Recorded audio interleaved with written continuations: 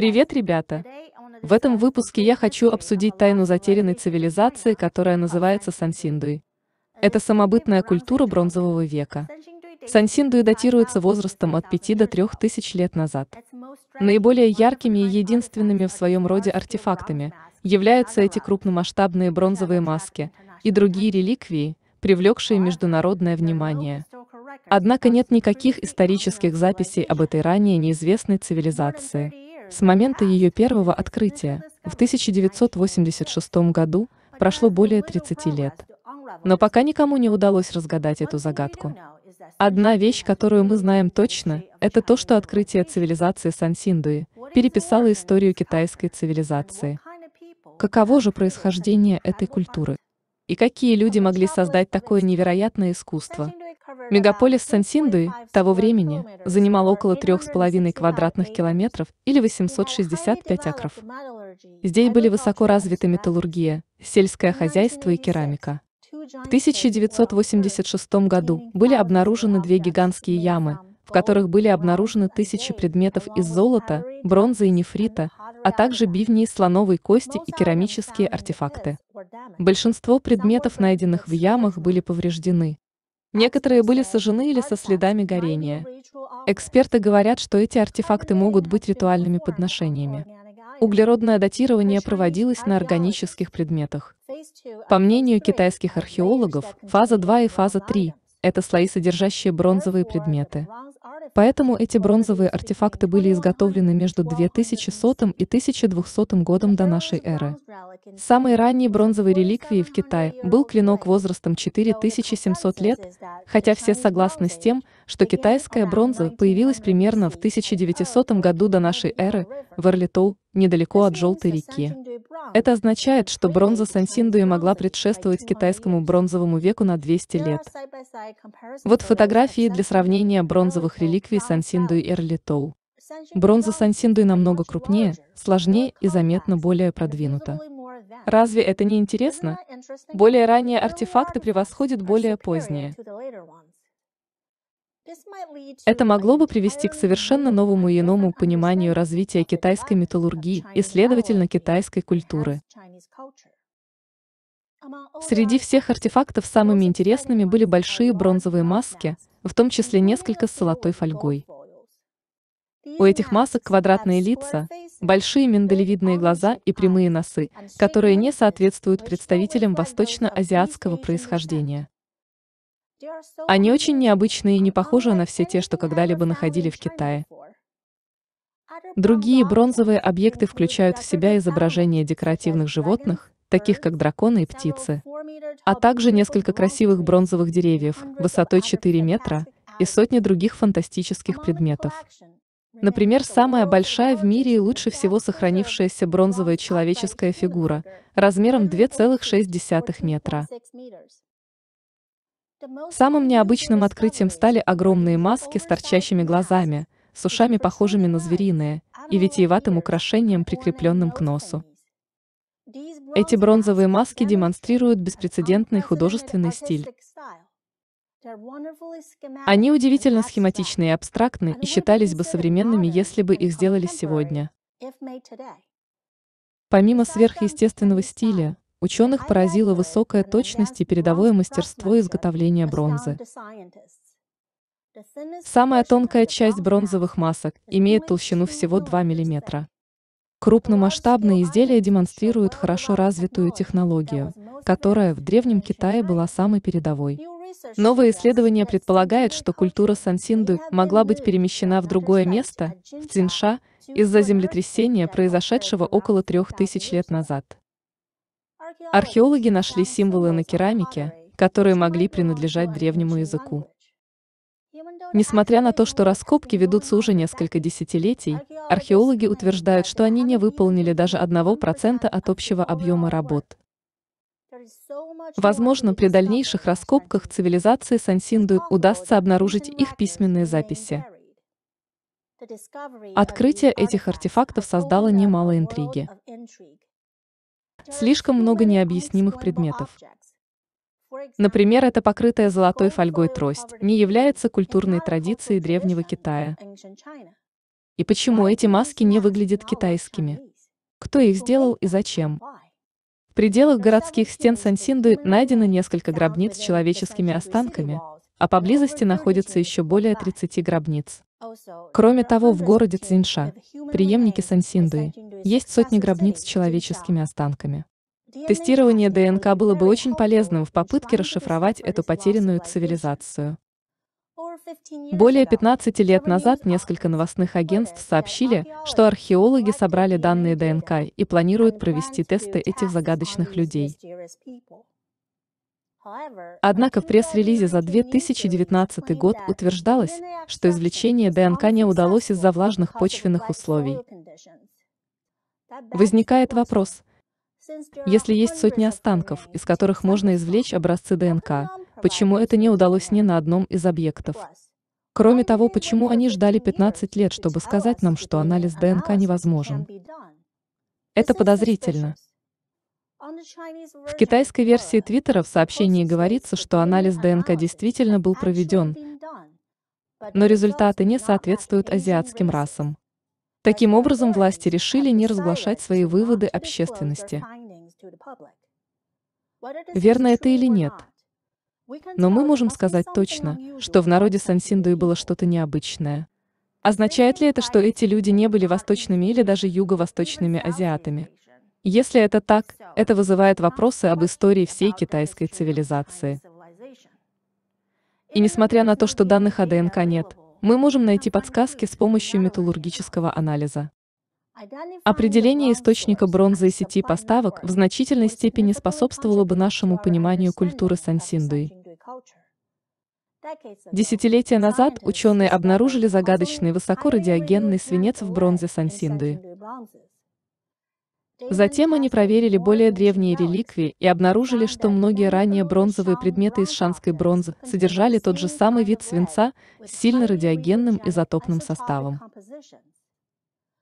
Некоторые геохимики утверждают, что руды в Китае не соответствуют этим изотопам свинца. Поэтому слитки или сырье должны были быть импортированы из-за границы. Поскольку эти радиогенные изотопы свинца в бронзе соответствуют рудам в Африке, некоторые исследователи утверждают, что слитки могли быть получены из Африки. В Китае эта тема неоднозначна. Независимо от того, как вы к этому относитесь, факт остается фактом. Исследователи не могут найти подходящие руды в Китае. Это приводит к предположению, что бронзовое сырье было импортировано из-за пределов Древнего Китая. Некоторые люди могут подумать, что это маловероятно, потому что древние люди не были такими мобильными и не могли проводить обширные исследования территорий. И снова мы недооцениваем наших предков, потому что они были намного более способными и предприимчивыми. Межрегиональная торговля была распространена 4000 лет назад, в эпоху бронзы, когда высоко ценилась медь. Из нее изготавливали оружие, украшения, инструменты и другие ценные товары. Следовательно, торговля медными слитками была прибыльной и часто практиковалась. В 2018 году чешские ученые проанализировали некоторые египетские бронзовые артефакты в немецком музее. Они нашли ранее династический египетский объект с высоким содержанием никеля. Это согласуется с рудами и артефактами из Анатолии раннего бронзового века на территории современной Турции. В 2019 году у Средиземноморского побережья Турции было обнаружено кораблекрушение возрастом 3600 лет. В это 14-метровое торговое судно было загружено полторы тонны медных слитков.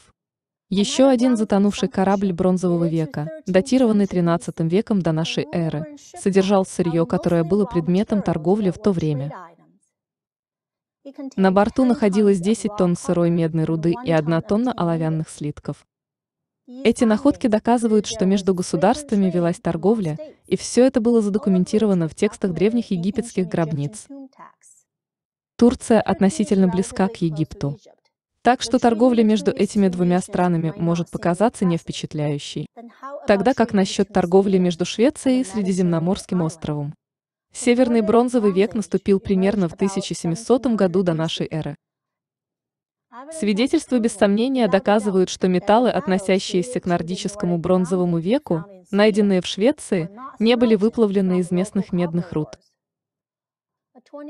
В научном документе 2014 года указывается, что основные источники шведской меди, по-видимому, происходят из рудников на Пиренейском полуострове или Сардинии в Средиземном море.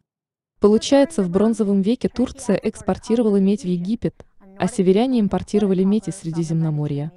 Это доказательство того, что в древности длинные торговые пути между государствами и регионами были обычным явлением. Поэтому иностранный источник бронзы Сансинду и Шан не следует считать необычным. Возможно, медное сырье Сансинду было доставлено в Древний Китай из других мест. Так когда же зародилась китайская бронзовая металлургия? Это вопрос все еще исследуется в академических кругах. Около шести тысяч лет назад Ближний Восток был первым регионом, вступившим в бронзовый век, который начался с расцвета шумерской месопотамской цивилизации. По сравнению с шумерской цивилизацией, Древний Китай вступил в бронзовый век примерно на 1400 лет позже. Идея о том, что плавка меди не была изобретена в Китае, является относительно новой теорией. Но ее все чаще принимают китайские археологи. Пока данные свидетельствуют в пользу того, что самая ранняя технология изготовления бронзы в Китае была стимулирована контактами с западными степными культурами. Что такое степные культуры? Великая Евразийская степь – это территория обширных пастбищ, простирающаяся от Восточной Венгрии до Монголии и Китая. Здесь жаркое лето и сухая зима. Степной путь – это древняя магистраль через Евразийскую степь, протяженность которой составляла примерно 10 тысяч километров. С эпохи палеолита степной путь экономически, политически и культурно связывал Европу с Центральной и Восточной Азией. Степной торговый путь предшествует знаменитому шелковому пути как минимум на два тысячелетия. Тогда не было пограничных патрулей. Древние люди свободно вели торговлю и мигрировали. В регионе Ближнего Востока изобрели бронзовую металлургию и двухколесные колесницы. Эти творения хорошо сочетались с культурой верховой езды в Евразийской степи и значительно увеличили мобильность древних людей. Еще пять тысяч лет назад новые инновации быстро и широко распространились среди мобильных кочевых народов, которые бродили по степи. Люди, поселившиеся у степных границ, скопировали и использовали эти нововведения. На протяжении тысячелетий кочевники по очереди приносили с собой торговлю, технологии и войны. В периоды войны успехи в металлургии по созданию оружия имели решающее значение. Очень нелегко найти археологические записи кочевников, потому что у них не было постоянных структур. Но несмотря на эту трудность, археологи обнаружили захоронения с подобными бронзовыми артефактами, датируемыми примерно 1700 годом до нашей эры. Эти места разбросаны по Северной Евразии, особенно в Сибири и Средней Азии, от Финляндии до Монголии и Кореи. Это называется семинско-турбинским феноменом. Родиной этой культуры считаются горы Алтая, которые находятся почти в центре всего степного маршрута и недалеко от Китая. Эти захоронения предполагают общую точку культурного происхождения и быструю миграцию. Эти люди были воинами-кочевниками и мастерами по металлу, путешествующими на лошадях или колесницах. Их бронза была технологически продвинута для того времени, включая литье по выплавляемым моделям. Было высказано предположение, что изменение климата в этом регионе около 2000 года до нашей эры вызвало быструю и массовую миграцию людей на запад, в северо-восточную Европу и на восток в Китай. Эта семинско-турбинская культура существовала с 1700 по 23 год до нашей эры. Они обладали передовыми знаниями в области металлургии, примерно за 200 лет до появления бронзы в Сансиндуи, то есть за 400 лет до Эрлитоу, который считается самым ранним бронзовым городом в Китае. Археологи нашли бронзовые наконечники копий от российского Урала до северо-востока Китая, которые похожи на семинско-турбинские. В районе, где находится Сансиндуй, исследователи также нашли похожие бронзовые наконечники копий. Кочевые культуры Евразийской степи внесли значительный вклад в развитие металлургии в Китае. Степной путь не только облегчил торговлю товарами и технологиями, но и привел к миграции людей. Некоторые считают, что самой большой движущей силой событий в истории Европы и Азии была миграция людей через открытые луга. На степном маршруте есть пути, ведущие в Древний Китай через Джунгарские ворота или горы Тянь-Шань, где есть озера и реки. Это идеальный путь для миграции. Рядом с этими тропами находится бассейн Тарима, который когда-то был зеленым оазисом с чистыми реками. Здесь археологи нашли останки рыжеволосых людей, которые естественным образом превратились в мумии из-за засушливых условий в бассейне пустыни. Анализ ДНК показал, что в бассейне Тарима между четырьмя и двумя тысячами лет назад жила группа людей с разнообразным происхождением из Европы, Месопотамии и Азии. Эти люди могли пройти через степи и принадлежать к разным этническим группам. Китайцы — неоднородная группа. В Древнем Китае было много периодов межрасовой интеграции и смешения. Там проживало столько этнических групп, что переводчики стали государственными должностями. Например, сагдийцы — это древние иранцы, неоднократно задокументированные в китайской истории. Их изображали проницательными купцами, обычно владевшими большим богатством и красивыми домами. Несколько китайских династий их императоры имели кочевых предков из степных культур. Появляется все больше свидетельств того, что вся Евразия и ее древние цивилизации были культурно и технологически взаимосвязаны и переплетены. Великие цивилизации возникают в результате культурных контактов и обмена. Но давайте вернемся к загадочной культуре Сансиндуи. Результаты ДНК в настоящее время держатся в секрете. Это может указывать на неожиданные результаты, поэтому мы можем предположить, что народ Сансиндуи не был восточно-азиатским. Если это так, то это не должно вызывать удивления, поскольку Древний Китай был местом смешения различных этнических групп. Рассмотрим следующие факты. Первый. Китайский бронзовый век начался через 2000 лет после появления шумеров на Ближнем Востоке. Второй. Евразийский степной путь соединял Ближний Восток, Центральную Азию и Восточную Азию в течение раннего бронзового века. Третий. Степные культуры имели развитую металлургию. Четвертый. Эти древние кочевники часто взаимодействовали и мигрировали по степному маршруту, при этом торговля и обмен знаниями практиковались в течение нескольких тысячелетий. Пятый. Некоторые из этих людей ушли на юг и поселились в таких областях, как бассейн Тарим. Шестой. Сансиндуй не слишком далеко от бассейна Тарим. Седьмой. Технологии изготовления бронзы в Сансиндуй на 200 лет предшествуют другим бронзовым культурам в Китае. Все это вместе взятое рисует картину группы людей, вероятно, с Ближнего Востока или Средней Азии, которые обладали передовой технологией бронзовой металлургии и которые мигрировали либо через степной путь, либо через долины гор Тяньшань. Более четырех тысяч лет назад они искали плодородные равнины и в конце концов поселились в бассейне Сычуань. Эти удивительные люди построили цивилизацию Сансиндуи. Благодаря своим искусным методам изготовления бронзы из импортной меди, они создали эти великолепные бронзовые артефакты в своем уникальном стиле. Вероятно, они были самыми передовыми в металлургии Древнего Китая. Их стиль и технологии оказали влияние на другие современные культуры. О Сансиндуе можно рассказать гораздо больше. Поэтому мы продолжим этот разговор в следующем ролике. Это любопытное существо, я Тина. А в мире еще много загадок, но в один ролик они все не поместятся. До новых встреч! Спасибо за просмотр. Все ссылки на источники информации в описании под роликом.